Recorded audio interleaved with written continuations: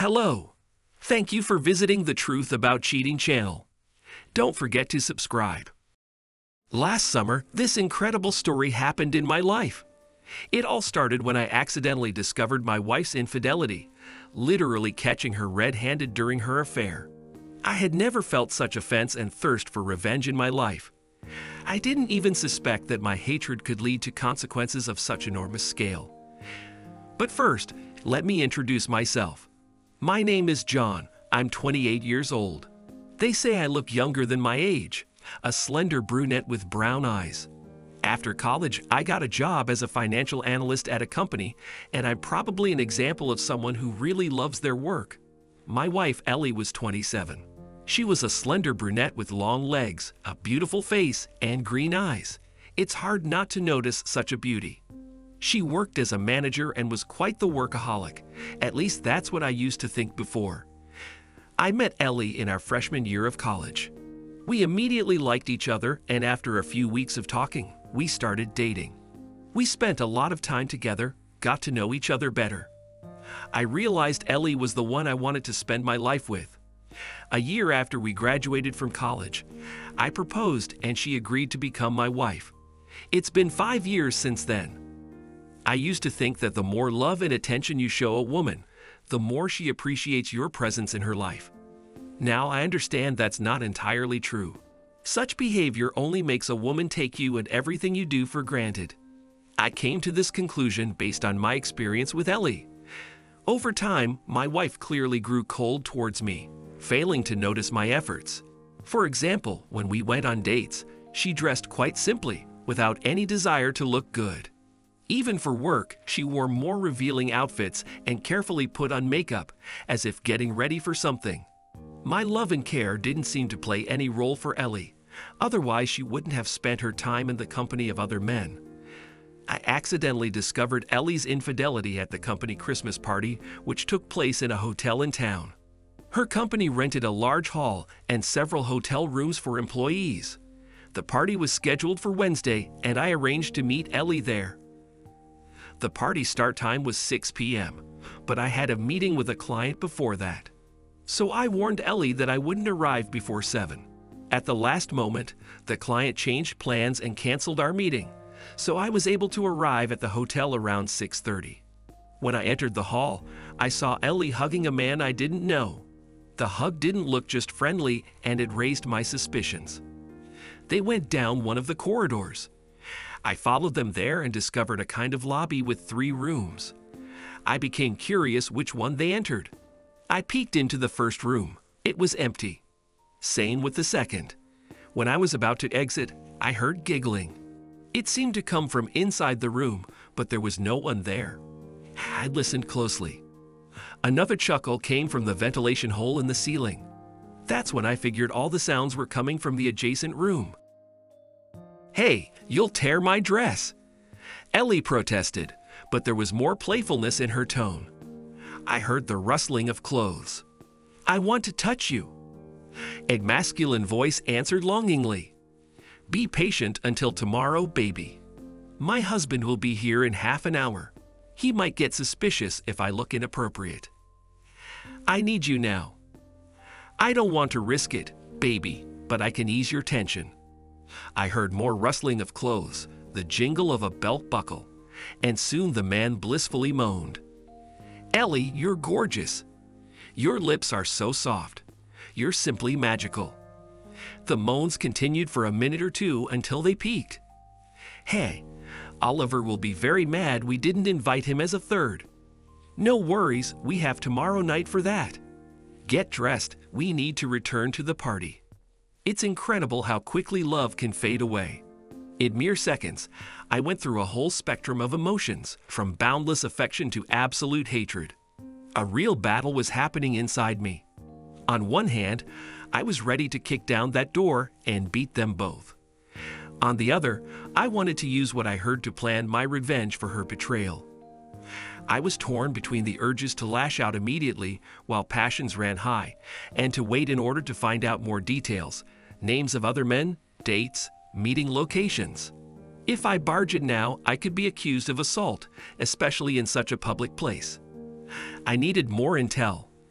I hurried out of the hotel and into my car before it was time to meet with Ellie. When I returned to the ballroom, I saw her at one of the tables with two other couples and that same man who had hugged her earlier. Even from a distance, it was clear he was a very attractive, muscular brunette in his 30s. Ellie noticed me approaching their table.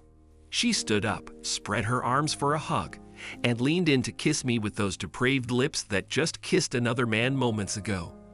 But at the last moment, I turned my head so the kiss landed on my cheek. I noticed the surprise on her face that for the first time I dodged her greeting. Inside me, everything was boiling with fury and resentment, but I tried keeping myself in check. I seemed to be coming down with something, honey. I don't want you to catch it. I lied. Ellie introduced me to the others at the table. The hunk's name was Oscar. When he stood to shake my hand, I sized up his build and height. It was important to gauge his reach in case things turned violent. We sat down and struck up small talk with my wife's colleagues. I felt that both couples seemed a little tense, as if expecting some kind of outburst from me. There was an involuntary sense that they knew about Ellie's affairs and were just observing whether I myself was aware. During the evening, I danced with Ellie twice. On the second one, she whispered in my ear how terribly she missed me and wanted us to be alone at home.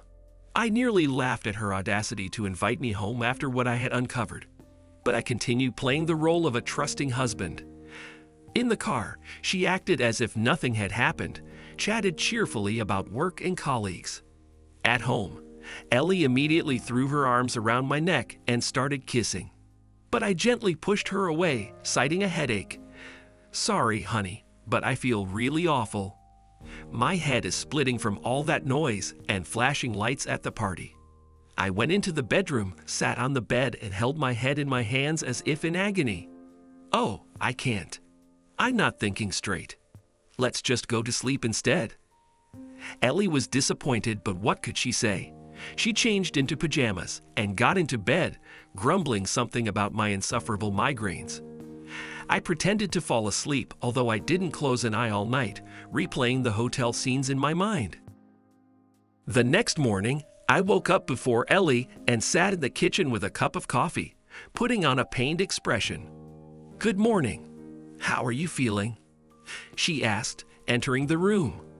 I made my voice faint. Awful, barely slept because of this damned migraine. The doctor's office doesn't open until 10 a.m. I think it's best if I call work and let them know I won't be coming in today. I reached for the phone as Ellie poured herself coffee and got ready. Don't forget, I'll be working late tonight, she said. We're still going over that damned budget until Tuesday. Of course, dear. I replied, not calling work after all. I had something more interesting planned after her late night.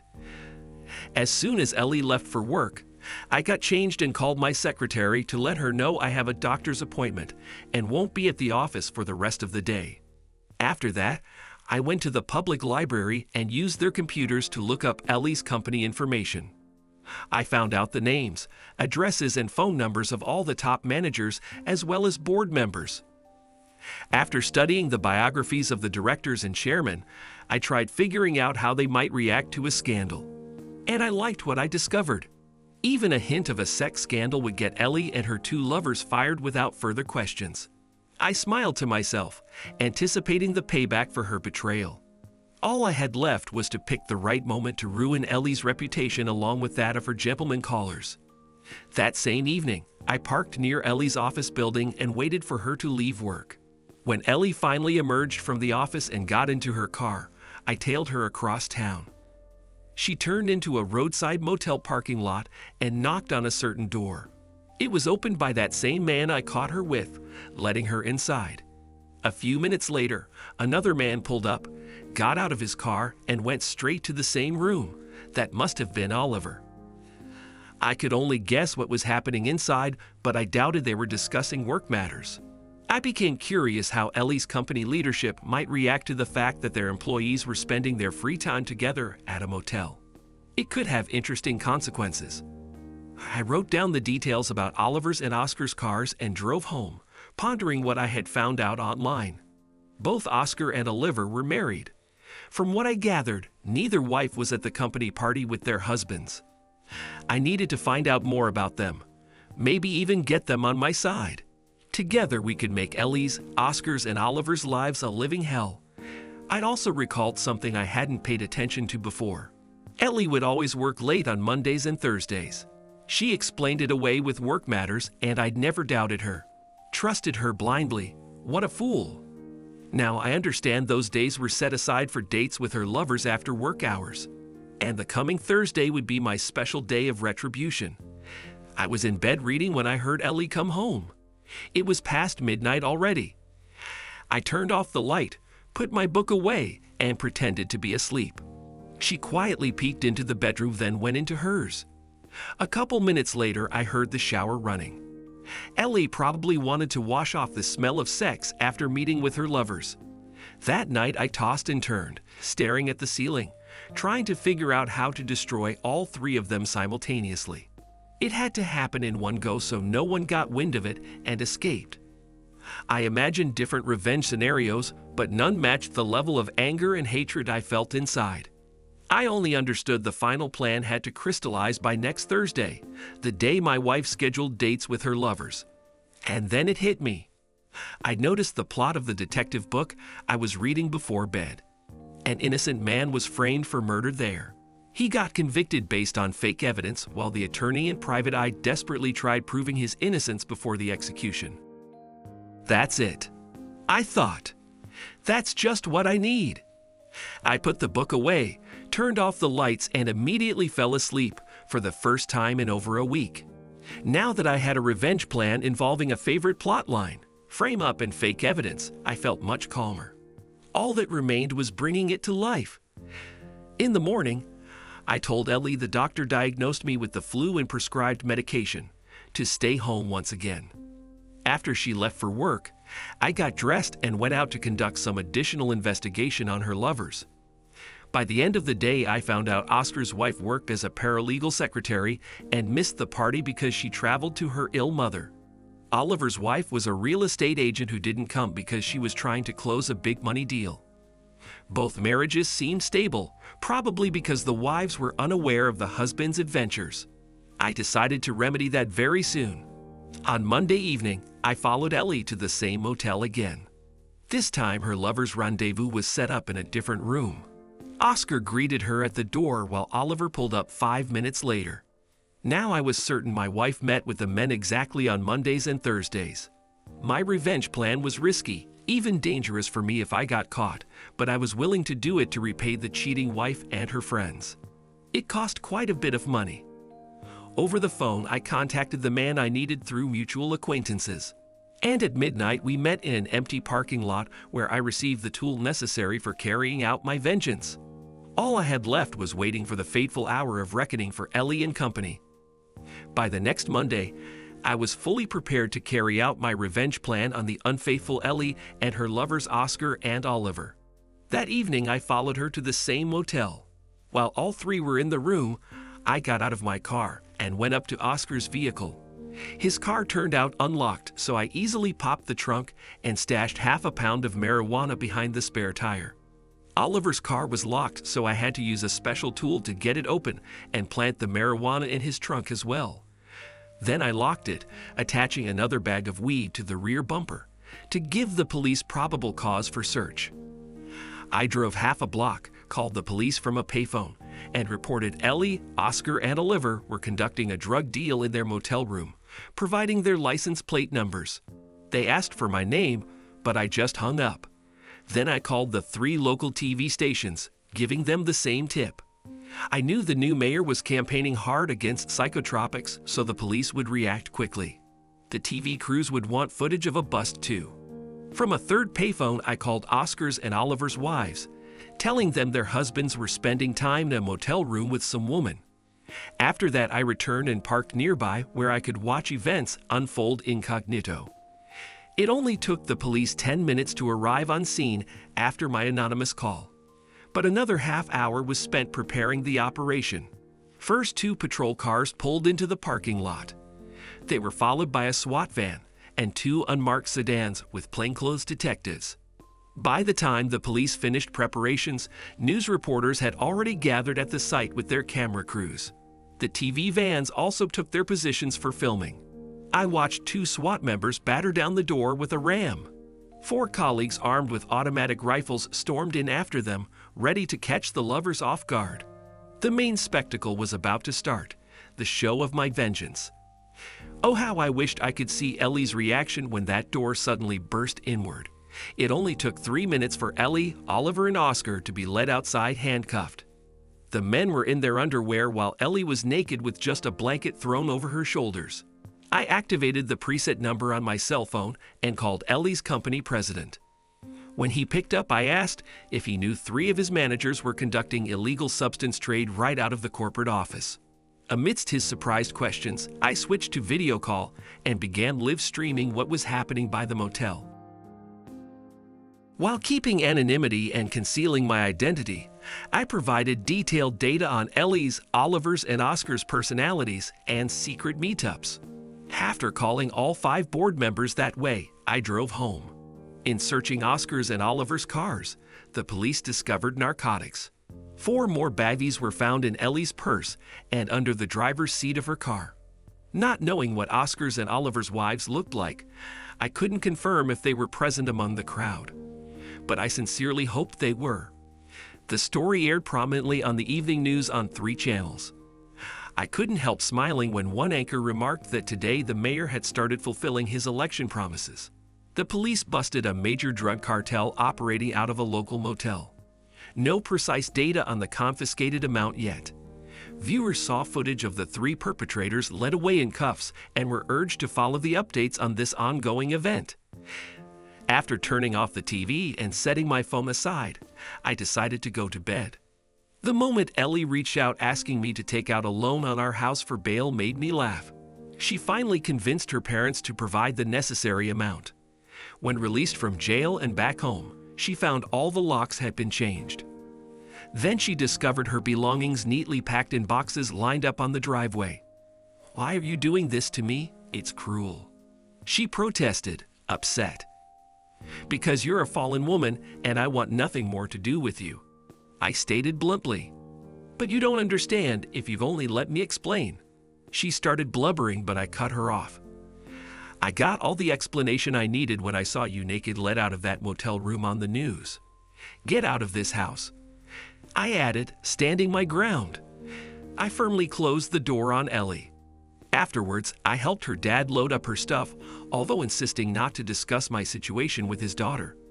Ellie kept calling two or three times a day, but I preferred avoiding any conversation. At one point, she even showed up at my office, but I had security escort her out of the building.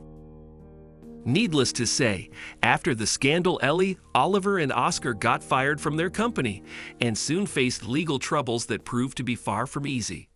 Despite it being a first offense amid the mayor's anti drug stance, they didn't get probation, as is often the case. Their situation was exacerbated by insisting on innocence, even after getting caught red handed with banned substances. Ellie did herself serious harm by demanding a blood test, trying to prove she had no narcotics in her system. The test result clearly showed Ellie was clean.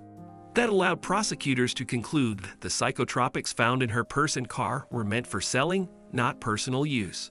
Given the mayor's drive to demonstrate instant results in his war on drugs, the three were offered a plea deal one year in prison and community service. With good behavior, they'd be eligible for early release. Their lawyer warned it was the best possible outcome, so they agreed to the terms. During Ellie's incarceration, I filed for divorce, same as Oscar's and Oliver's wives did. All three served their sentences, and when they got out, I continued keeping tabs on their fate. I knew after her incarceration, Ellie faced tremendous difficulties finding employment. Her resume tainted by scandal doesn't attract employers, and she's forced to revise her career plans. Former colleagues and friends avoid contact. She lost standing and trust professionally and personally. Oscar and Oliver go bankrupt after the divorce. They lose their homes and most possessions. Losing connection with their kids is a heavy blow, and they grapple with added emotional hardship trying to rebuild the ruined relationships. All three find themselves at the fringes of society, feeling the weight of condemnation from those near and dear. Everyday troubles combine with financial woes, and each step reminds them of the price to be paid for their actions. Upon learning of the betrayal, I felt I was being ripped out of reality, and instead of just ruining their lives, I began ruining my own. Each day of this ordeal, I felt the mixture of anger, resentment, and sense of treachery slowly corroding me from within. When I heard about the aftermath my revenge brought onto Ellie, Oscar, and Oliver, I felt the heavy burden on my conscience. Inside me, feelings of duty towards justice blended with pity for those whose lives I destroyed. This story made me hostage to my own desire for vengeance, turning me from pursuer into a man who himself became victim of blind fury. To this day, I keep asking myself the same question over and over Was it worth it? That's the story. Share your thoughts in the comments about this situation and the behavior of the spouses. Don't forget to subscribe to the channel and be sure to like this video. It will greatly help promote the channel. Take care and have a wonderful day.